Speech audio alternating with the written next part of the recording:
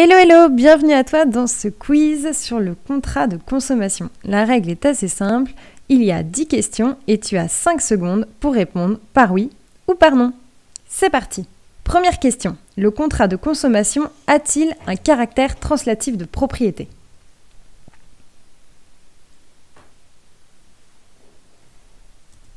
Deuxième question, le contrat de consommation est-il un caractère consensuel?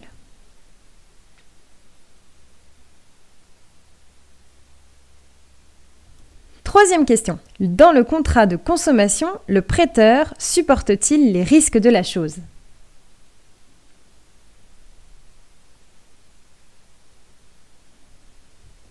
Quatrième question. Dans un contrat de consommation, la restitution se fait en équivalence, non en nature.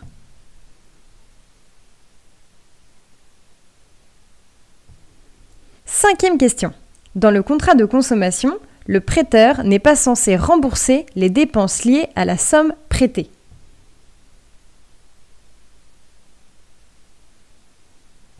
Sixième question.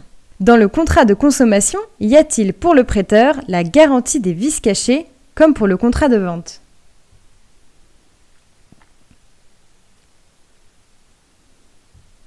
Septième question. Dans le contrat de consommation à durée déterminée, la demande de restitution peut se faire avant la fin du terme.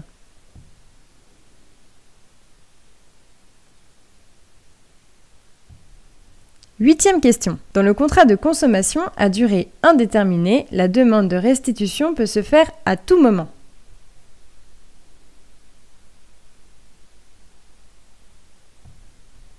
Neuvième question. Le contrat de consommation est essentiellement un contrat à titre onéreux.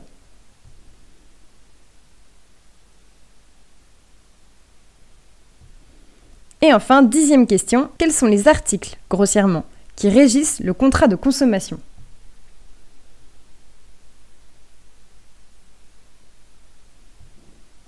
Voici maintenant les réponses. Regarde bien si tu as au moins 6 sur 10. Cette moyenne peut te permettre de savoir si tu es prêt pour l'examen. Première question. Oui, le contrat de consommation a un caractère translatif de propriété. Non, le contrat de consommation est un contrat réel. Non, les risques sont supportés à l'emprunteur. Oui. Oui. Non, mais il a un devoir d'avertissement des défauts. Non. Oui.